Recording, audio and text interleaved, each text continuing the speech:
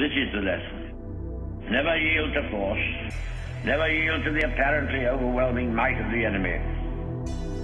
In nothing, great or small, large or petty, never give in except to convictions of honor and good sense.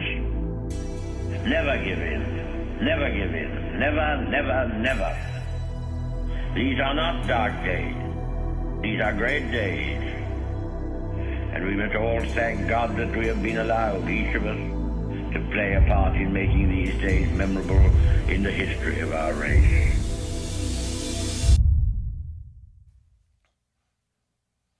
Well, good morning. Good to see all of you here today inside the house. Thanks for being here on the second Sunday of the new year. Happy 2021. It's amazing to think about that, isn't it? I can remember way back thinking 2020 would never get here. Everybody was saying, do 20 in 2020. Now it's 2021. Thanks so much uh, for being here, for staying engaged online. These are different times, aren't they? These are unique moments in our world and in this point in history. I'm, I'm thankful you're here. We're going to start a new series today. I'm, I appreciate Philip. Last week, Philip stepped up to the plate and uh, preached for me. He preached here, and he did a great job, and I appreciate that. He's, uh, he's just a great staff member. Really excited about Brian, our new executive minister. I'm going to get him up here at the end of the service. But what I'm really pumped about, as always for me, is diving into God's Word. We're going to be diving into a series for the counting today, the next five Sundays. It's a series about perseverance. You know, the days after the holidays, January, sometimes we get what's called the post holiday blues. More suicide happens during this time. Uh, days are, uh, you know, they're getting lighter, as you can see, or longer, longer. Uh, and but still, there's a lot of darkness, cloudy, gloomy weather, and people get depressed. People get discouraged. And we're going to talk about persevering. How do you get through that? How do you work through that? I don't know about you, but uh, there have been times when I've thought about throwing in the towel, throwing in the towel on, on the, the ministry, on the faith.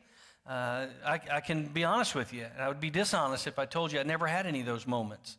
There's been times when I've been so discouraged and felt so defeated that I thought, what is this good for? Why am I doing this? And that's, that's the series we're going to be in. It's called Don't Give Up. Say that with me. Don't give up. That might be what you need to tell yourself. That might be what you need to tell your family member or some friend. Don't give up. Don't give up. That's where we are. I love that Winston Churchill audio clip behind that graphic. If you know your history, you know Winston Churchill served in some of the darkest times. Uh, right during the start of World War II, his people were being assaulted by uh, the Nazi Germany regime and, people were devastated. I mean, buildings, they were, they were striking at every point in England. And Churchill had to stand up and say, look, these may be dark days, but they're not dark days for us because we're going to turn it around. We're going to be a different people. We're going to do something different. And one of the greatest things we remember him for is that speech right there never, ever, ever give in. The title of our series is Don't Give Up. And I love that. Maybe you need to hear that. You might be sitting at home and you may need to hear this message, this series.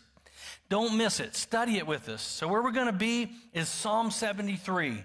Psalm 73 is a psalm about perseverance. Will you read it with us? It's only 28 verses. I want you to read it from every version of the Bible you can read it from. I want you to read it every day. I want you to read it every week at the least. I want you to study it with us. I want you to immerse yourself in it, and let's see what God has to say to us from this passage. So, Psalm 73 is known as the book of Job in a nutshell. The book of Job in a nutshell. If you're taking notes on your outline, that's uh, on there. This is the book of Job in a nutshell. You remember the book of Job? Job was a godly man, a righteous man. The devil came. He said, Let me at him. God said, Okay, but you can't touch him. He went after him. He lost family, he lost possessions, he lost so much. Devil came back.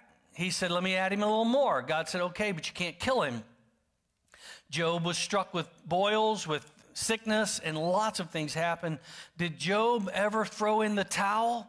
No, he did not. Even though some of his friends told him to, they advised him to. They said, You can't get any worse. Must be your fault. Must be uh, something you've done. And so you need to throw in the towel and get over it. Job said, I will not do it because I know my Redeemer lives and I know the way I'm living is right. Job is a righteous man. Asaph is the writer of this. This is a psalm of Asaph. If you have a Bible, you'll notice at the heading of that Bible, uh, whether it's electronic on your phone, iPad, or if it's in your hard copy Bible, at the title, at the heading of it, before verse 1, it says, A Psalm of Asaph. Say Asaph's name with me Asaph. Asaph. Ladies, if you're, if you're going to have a son, this would be a great person great name. I guarantee nobody else will have it. And he's, a, he's one of those characters that uh, you really want to hold people up to. He was a godly man a godly man. And he wrote not only one, but he wrote 12 Psalms. He wrote Psalm 50. You should see that same heading over Psalm 50. And he wrote Psalms 73 through 83. Now, who was Asaph? Asaph was a descendant of Gershom. And Gershom was a son of Levi.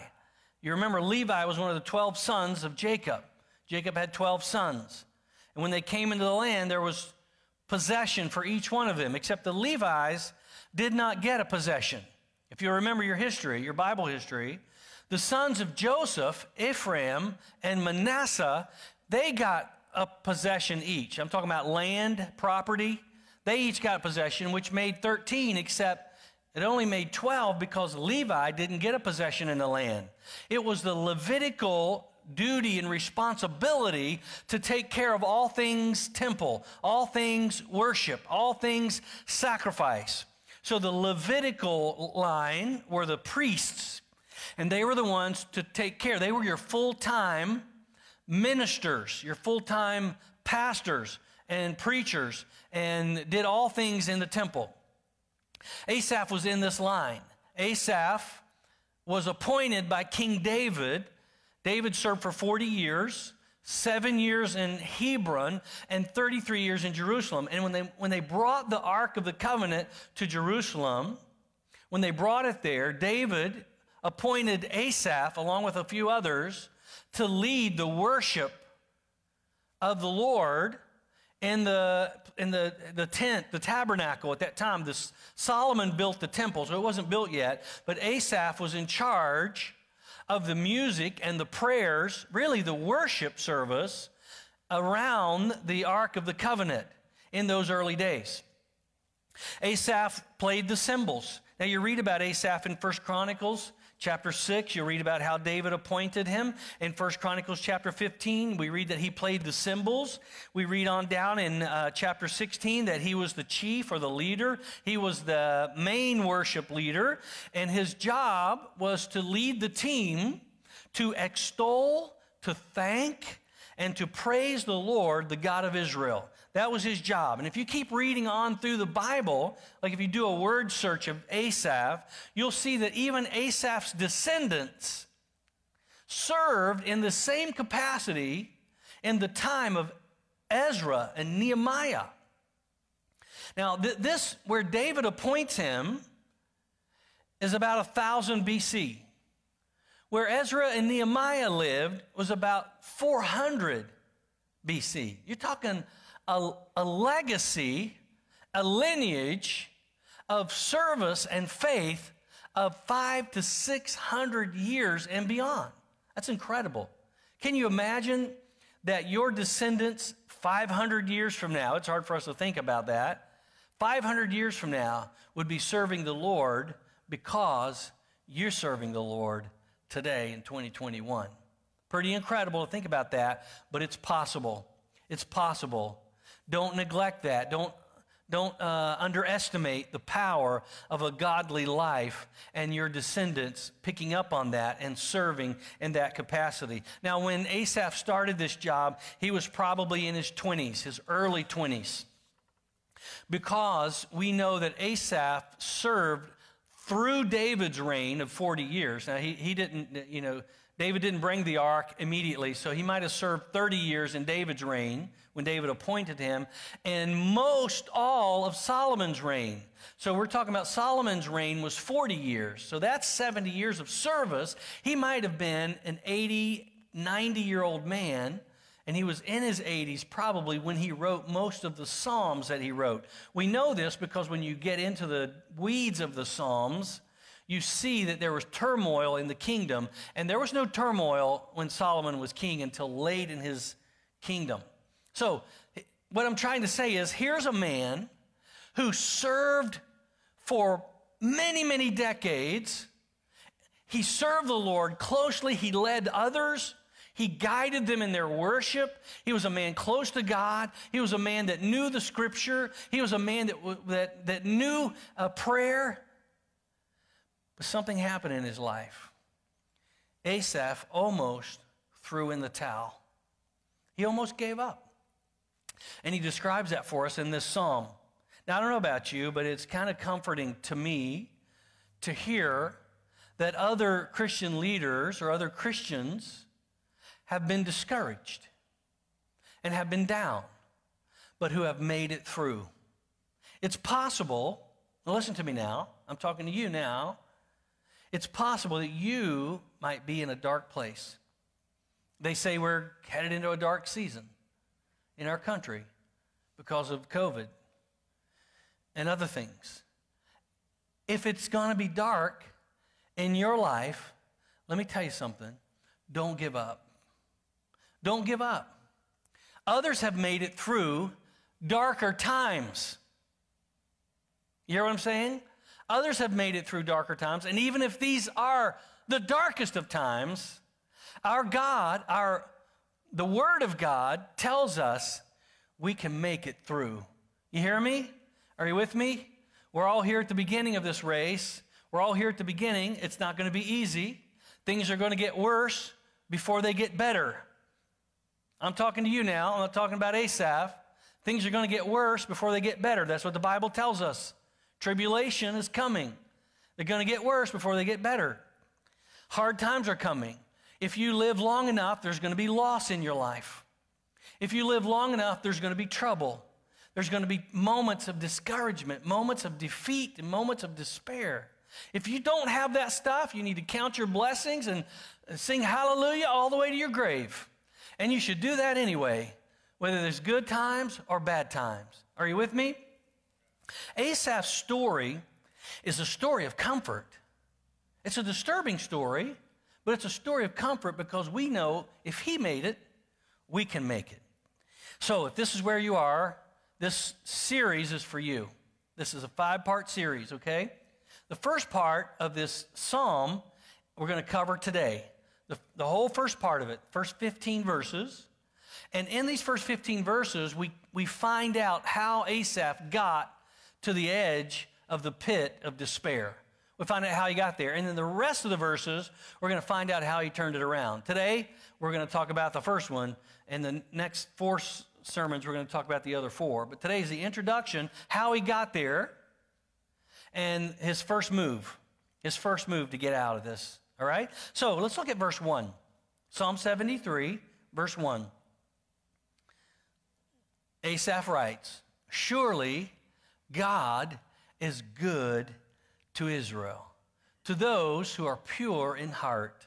That's a song we just sang, isn't it? God is good.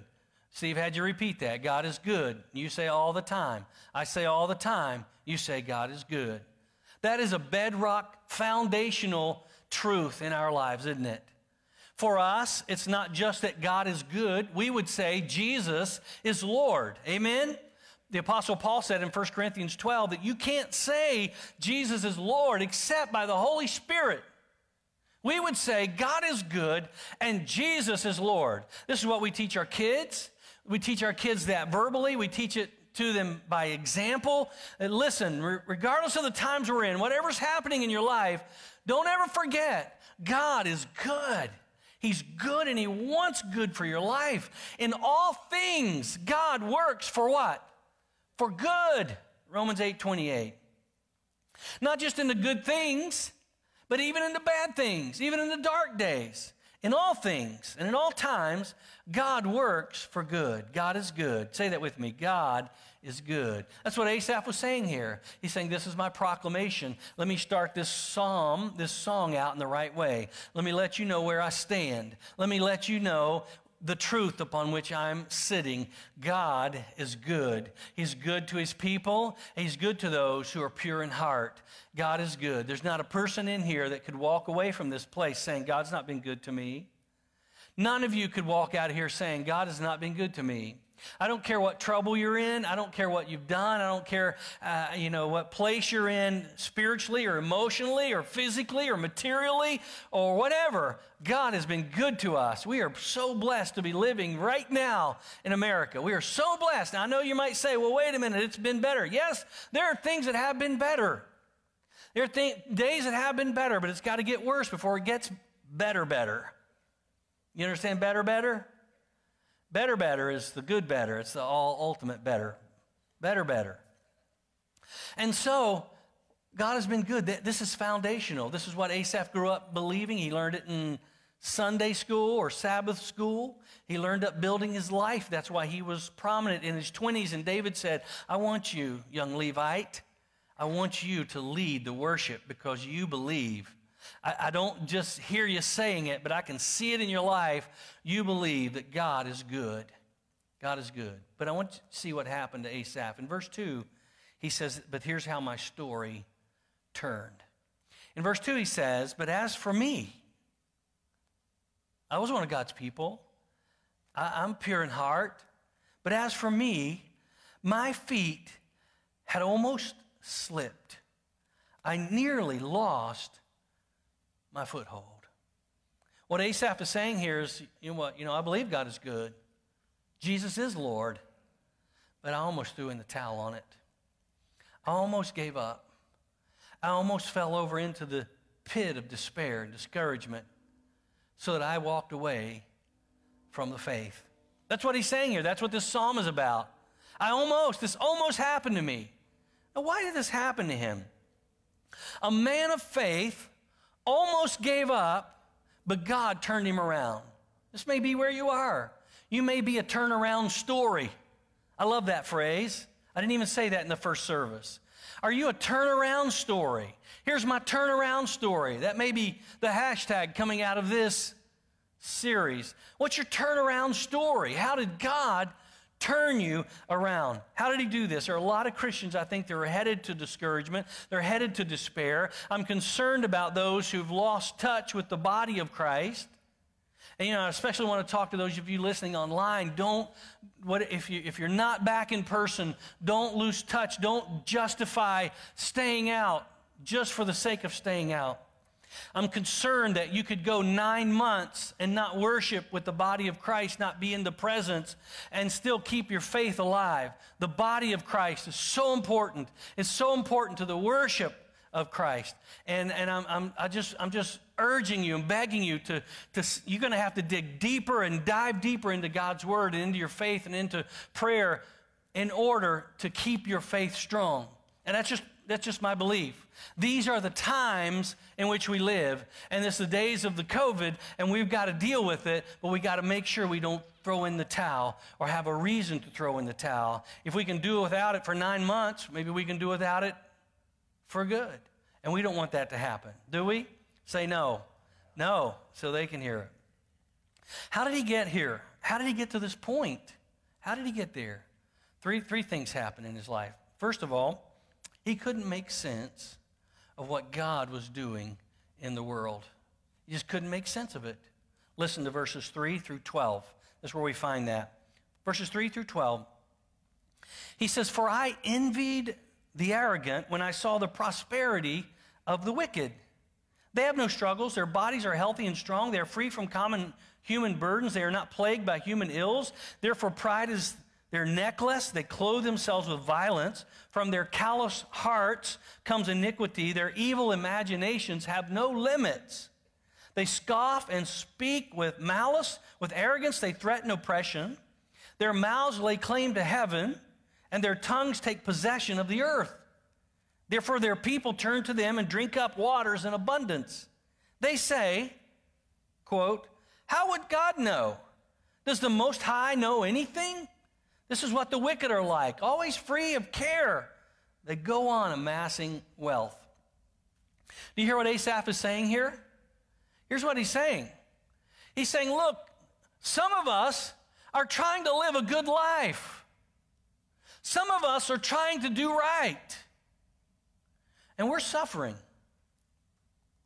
But there are people who don't care about God.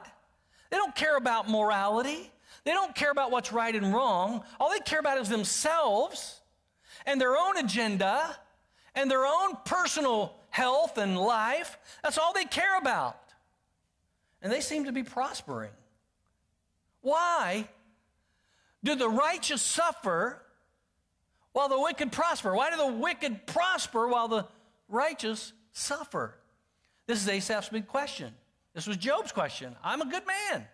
Why am I suffering so much? Maybe your question today. Why is my life so hard? And it's there's times like these, times like this past week, times like the past several weeks, the past several months, the past several years. In fact, we could go all the way back to the 1950s and we could see the deterioration of morality and goodness in our culture. Are you with me? You agree with me or disagree with me? It's okay to disagree with me, but let's do it after, all right? I mean, if you're as old as I am, which is not very old, unless you're a whole lot younger. But look, if, if you've lived a little while, you've seen how things have gone from pretty good to pretty bad. I mean, if you stand up for Christianity, if you stand up for what's right, if you stand up for a Christian biblical worldview today, you will be ostracized, you will be criticized, you'll be marginalized. They'll call you a fanatic, they'll call you old fashioned, they'll call you lots of names. It's not mainstream anymore to be a Christian. I remember when it was. I remember when everybody went to church and, and uh, you know, everybody pretty much agreed that the Bible was true and that this is how you should live. But it's not that way anymore. In the day of mega churches, you know, there are more mega churches today in our country than there have ever been. I got the number here. I didn't share it the first service. Uh, let me see if I can find it. There are, uh, there are bunches and bunches of them. How about that number? There are bunches and bunches of them in our country today. A mega church is a church of 2,000 plus people in our big cities. In the age of the mega church, you would think things would be getting better and not getting worse. Are they getting better in our culture? No, they're not getting better. They're getting worse. And so we scratch our heads and we say, God, what are you doing today? What in the world is going on? God never said it would be easy to stand for Him. He never said it would be easy to stand for what's right. But, but we just scratch our heads and we think, how could this happen in our Christian nation, on a nation founded on Christian principles. How could abortion happen? How could, how could so many things, I'm not even going to list them, and we, we seem to be getting beat down at every turn. Good and morality and biblical gets beat down while immorality and evil gets elevated. It's prospering while the things we're standing for are being beaten down. What's God doing in the world?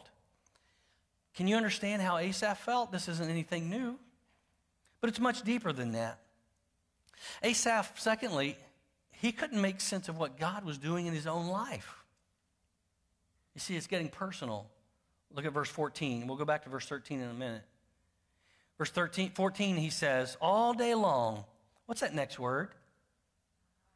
Yeah, uh, say it with me. All day long have been afflicted, and every morning brings new punishments. You see, it's getting personal now. Asaph's like, you know, I'm not doing too well myself. I'm not doing too well myself.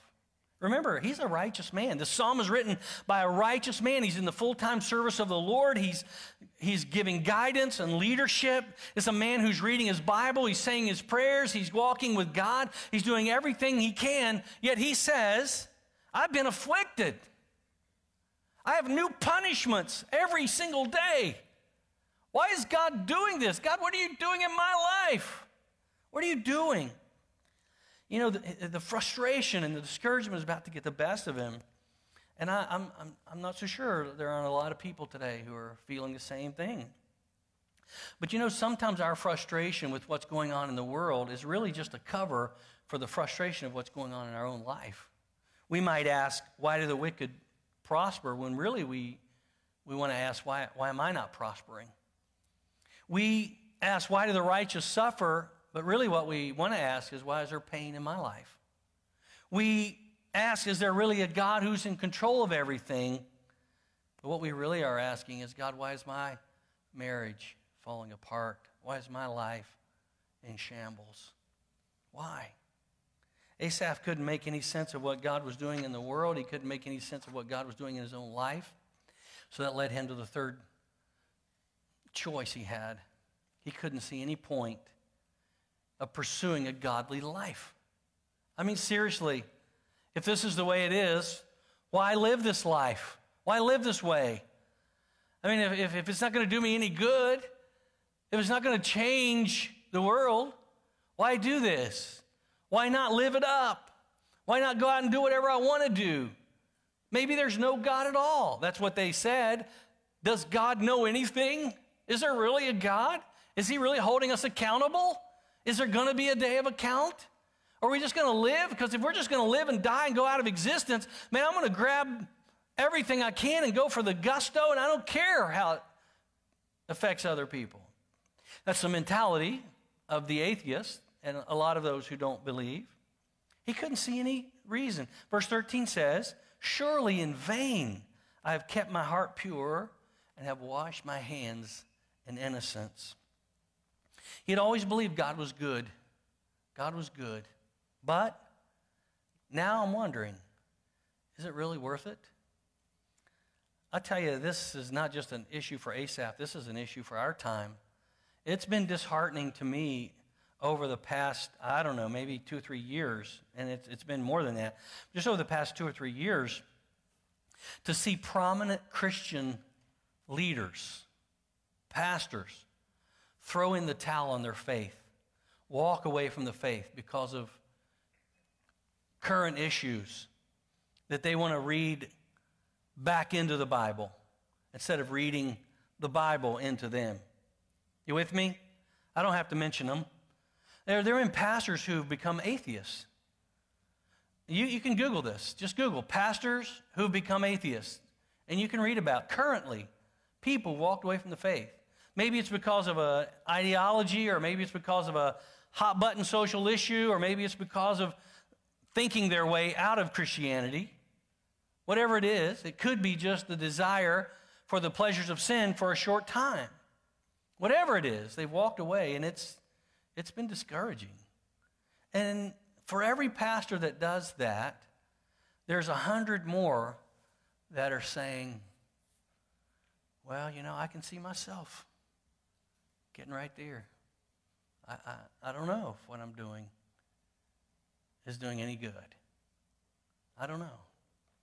There have been people in our church, in my ministry, and I've had a long ministry here and very blessed. People in our church who've gone through hard times. They've reached the edge of despair. They've, they've, they've gotten to that point to where they, they were they were so depressed and defeated. And they walked away. They never came back. Oh, you talk about a discouraging moment for a pastor is when you build into someone and build into some people and they go through a hard time. And I'm, let me tell you right now, you're going to have a hard time. You're going to have loss if you live long enough. Some of the worst kinds of loss. In the first service, I, I looked at some folks who'd lost a spouse recently, who'd lost a, a child recently. You're going to have this happen. It's going to happen if we live long enough. The question is, what are you going to do? What are you going to do? Are you going to just drop over in and say, no, what's the use? I want to tell you, since March 15th of last year, it's, it, there's been times when I've, I've peered over into the edge of the pit of despair, the pit of discouragement. You know, we were all wondering uh, is the church going to survive? Are things going to be okay? Are, we gonna, are they going to kill the church in America? But even before any of that started, our little grandson was lying in a hospital, and we went to bed every night for 21 days thinking he, he's probably not going to make it. And we got to prepare ourselves for this. I don't know if you're a grandparent, but if you are, that, that's, that's, you know, they, they say being a grandparent is one of the best things, but I want to tell you, it's like quadruple the love without the responsibility, which is really the best of both worlds. But it, it's, it's one of the hardest places to be, just peering over into that darkness and knowing you can't do anything about it. Can't do anything about it. And the COVID, you know, with the, with the assassination of the church or the assassination attempt of the church by the devil, by the devil. I, that's why I'm so proud of you and I'm so proud of our church and lots of churches like this. But I want to tell you, I just want, I just want to be honest with you today. I've been where Asaph is. And I'm so glad to read the rest of Asaph's psalm. The devil's the master of discouragement. He wants you to throw in the towel. He wanted Asaph to throw in the towel. He wants our leaders to throw in the towel. He wants me to throw in the towel. He wants this. There's a day of evil coming. Ephesians 6:13 talks about a day of evil. I think we're living in that day right now. It's a day of evil. Paul talked about it, and the future of our faith and legacy of our faith is hanging in the balance. Your life and your decisions and your faith today will determine, in large part, what's going to happen generations from now. You understand what I'm saying? What happened here? Asaph came shining through. Verse 15 happened. Verse 15, he says, If I had spoken out like that, I would have betrayed your children. In other words, I was thinking this, this is what's going through my mind. This is what keeps me awake at night. I lay awake at night. I think about the people who've done me wrong. I think about the people not doing what I want them to do. And I get angry at them and I get mad at them. And anybody else like that? You, you start remembering something somebody did, and the longer you sleep, the madder you get. You're not going to get any sleep that night. Am I the only one that goes through that stuff? And some of you are the ones I've been getting mad at. I'm kidding about that a little bit you know, we, I'm going to tell you how, the fix for that in just a second.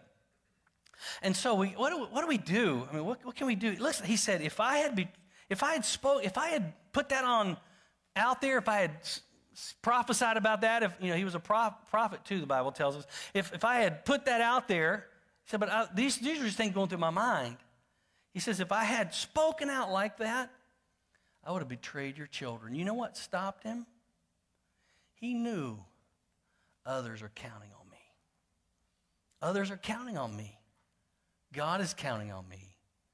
Do you realize that when you get to the edge of the pit of despair, if you fall in or jump in or concede or give in to it all, we're all watching. We're all watching. And it's going to break our heart to know that you, you, you just fell in we're going to feel blame, to, the, to blame, and we're also going to blame you. We're going to blame the devil. Young people, listen to me. You go off, you go to college. If you throw in the towel in your faith, we're, we're all going to know about it. And we'll know about it. At some time, at some point, we'll know. And it'll be discouraging. But you know what encourages us? When you hold fast, when you don't give up, when, when you turn it around. What do you got to do to turn it around? That's what this series is about. Here's what Asaph had to do he had to make a five point turn. There's five messages in this. I'm just going to tell you in just the next few minutes what this first one is. A five point turn. You ever been on a road where you had to make a five point turn? Uh, make a turn where you, you just, you know, some turns you can just swing your car lazily around and just make that turn. Those are easy turns. You ever been on a road where you, you couldn't turn? And there's no driveway, and the road's getting more and more narrow. We were just in Haiti, and we were on a road like that, and we're like, okay, what are we going to do here? I said, I got this. I'll make a five point turn. Now, it might have been a seven or eight point turn. I can't remember now, but we'll call it a five point turn. You know, it's where you, it's where you go over, you go back, you go over, you go back, and then you pull out. That's a five point turn. And that's what you got to do sometimes, especially when it comes to discouragement. And when you make a five point turn, you can't keep rolling, you can't keep moving. The first thing you have to do is you have to stop. You have to stop. Just stop. Sometimes you can keep rolling on a turn, but when, when you get to the edge, you got to stop. There's no way to keep moving. You got to stop. To stop and think about what you're doing, or you're going to put everyone else at risk. Everybody's going over. You would disgrace your God and his people. Sometimes we cry out to God for an answer. God, why is this happening? Well, what God wants from us first is He, want a, he wants a commitment. He says, Look, I, I'm, I'm going to help you through this, but you got to stop. You got to stop. Just stop. Everybody say that. Stop. That's the first step of a five point turn. You got to stop. That's what we're going to talk about the rest of these. You got to stop feeding your mind with all the negativity in your life. If that means turning off the news, turn it off. I promise you, it'll go on without you. If that means deleting your Facebook account, your Twitter account, social media accounts, then delete them. Your emotional and spiritual health is more important than you being there. You with me? Delete it. If you need to do it for your kids, do it. If you're paying for their phone, you do it. You can do it. If, if, if there are negative people in your life, speaking into your life, stop it. Stop hanging out with them. Stop listening to them. Stop being with them. If they're going to just speak negative into your life, and you tell them, and you need to start reading your Bible and start spending more time in prayer. Just stop the negativity.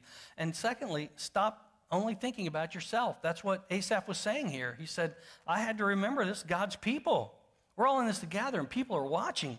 And we need to realize that if one falls, in a way, we all fall. We all fall. The cause of Christ is damaged when a prominent Christian leader says, eh, I don't believe this anymore. I've been preaching a lie and living a lie. Can you see how it hurts everybody? Stop focusing only on your pain. Stop thinking everything has to turn out the way you think it has to turn out. If everything has to turn out the way you think it has to turn out, you're going to get discouraged because guess what? It's not going to. Stop thinking that your way is the only right way. Stop thinking that God is not going to, in all things, work together for good, even the bad things. Stop doubting that God is using your daily life to reap a harvest that will last for generations. Stop. That's the first that's the first decision in a five-point turn to get your life back on track. Just stop. Will you pray with me? Lord, I'm talking to people right now, some of them who are about to throw in the towel, some of them who are about to give up, some of them who are questioning whether or not this is worth it, whether it's all vanity. I'm talking to people, God, who've been there and some who are there. And I'm, I'm talking to them, God, because you want them to know that there's a reason to keep going. That even though things might get worse before they get better, that Jesus is still alive. He's still on the throne. The cross is still effective. The blood still washes our sins away. There's still an opportunity to repent. There's still an opportunity for forgiveness. There's still a way back. Lord, that's what we need to know. We don't, we don't have to suffer this alone, and we aren't alone. Lord, help us not to walk away from our faith or walk away from your people, but to reach out a hand and say, I, I need a little help pull me back. God, I pray you bless this series and bless this passage and bless our study to your glory. In Jesus' name we pray.